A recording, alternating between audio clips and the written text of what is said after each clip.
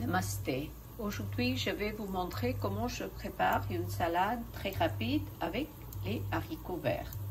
Alors, ici, je viens de dorer l'ail dans une cuillère à café d'huile.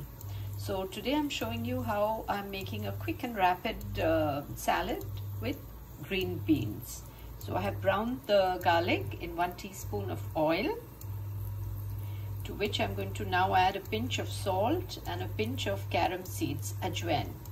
Et j'ajoute une pincée de graines de carom ainsi que un peu de sel. Une fois que c'est doré, once it's all brown, just add some crushed pepper. Ici, j'ajoute le piment d'Espelette. Bon, c'est selon votre goût bien mélanger. Ces haricots arrivent tout frais d'une ferme de Rémy d'Auvergne, apportée par mon fils. Donc, ils sont vraiment très frais, très doux.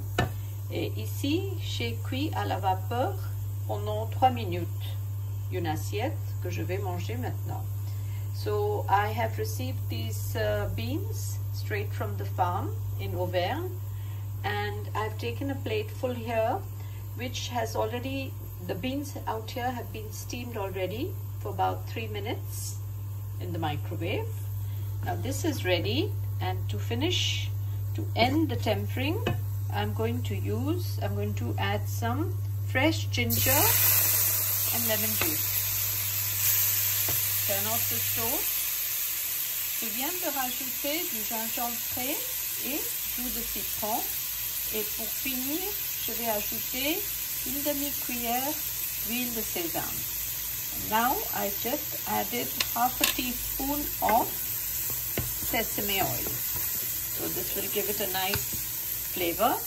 Now you can either put the beans into the pan and eat it hot or just put this over the beans. Alors maintenant si vous voulez manger la salade chaude, vous pouvez rajouter les haricots dans le poêle.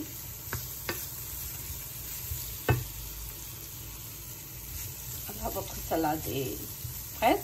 Bon appétit. N'oubliez pas de rester abonné et partager mes vidéos.